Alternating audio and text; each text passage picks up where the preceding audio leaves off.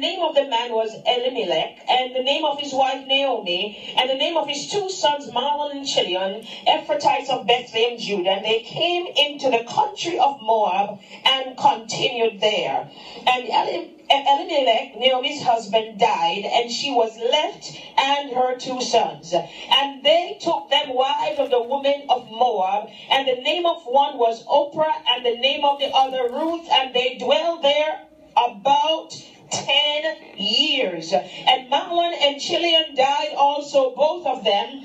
And the woman was left of her two sons and her husband. Then she arose with her daughters in law that she might return from the country of Moab. For she had heard in the country of Moab how that the Lord had visited his people in giving them bread. Wherefore she went forth out of the place where she was, and her two daughters in law with her, and they went on the way to return unto the land of Judah.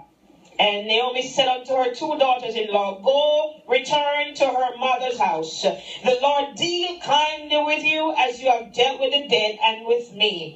The Lord grant you that you may find rest, each of you in the house of her husband. Then she kissed them and lifted up and they lifted up their voice and wept. And they said unto her, Surely we will return with thee unto thy people. And Naomi says, Turn again, my daughter. Why will you go with me? Are there yet any more sons in my womb? That they may be your husbands. Turn again, my daughter, go your way, for I am too old to have an husband. If I should say I have hope, if I should have an husband also tonight, and should also bear sons, will you tarry for them till they were grown?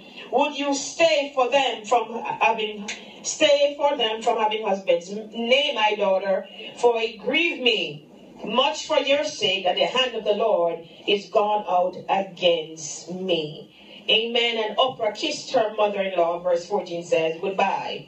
But Ruth clave to her, and she said, Behold, thy sister-in-law is gone back unto her people, unto her gods. And she said, Return thou after thy sister-in-law, Oprah. And verse 16, Ruth said, Entreat me not to leave thee or to return from following after thee. For whither thou goest, I will go, and where thou lodgest, I will lodge. Thy people shall be my, people, thy God shall be, where thou diest, will I die, and there will I be buried. And Ruth said, The Lord do so to me, and more also, if aught but death thee and me. When she saw that she was steadfastly minded to go with her, then she left, speaking unto her. And it says, So they went until they came to Bethlehem. I stop right here. That's the word.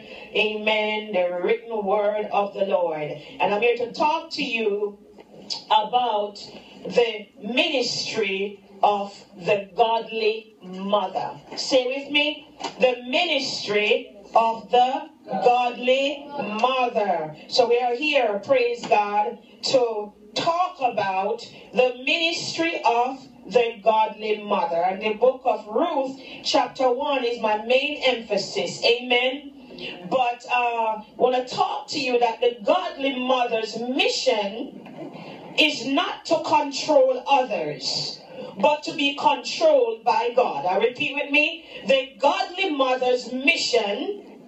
The godly mother's mission is not to control others, but to be controlled by God.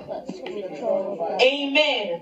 The ministry of a mother is one of love and compassion. Amen. Amen. We look at the book of, of Ruth, chapter 1. We'll see uh, Naomi. She was controlled by who? The God Jehovah. She was in a land, hallelujah, her husband took her, lived there for 10 years. And why did he take her to Moab? He was looking for a better life. Because in Bethlehem, Judah, there was a famine. And uh, we were, without him even waiting to see the season will change, he decided, I, uh, here it's better in Moab. In Moab, they serve other gods. Are you listening to me? In Moab, they serve another God that can breathe breath into man. Amen. But yet still he said, I'm going to go there because it looked better on that side. But can you imagine for 10 years, she stayed in that land, but she never gave up on God. Amen. And you see where even her, not just her husband died during that 10 year, but the very two sons she had died. I'm trying to get somewhere with you. And then she's left with two daughter-in-laws who were Moabites. Do you understand? But then she heard that restoration has come in the land where I was born and raised. Hallelujah. She only heard, news came to her that, uh, that there is no more famine in Bethlehem. Bethlehem, Judah. And so she didn't hesitate.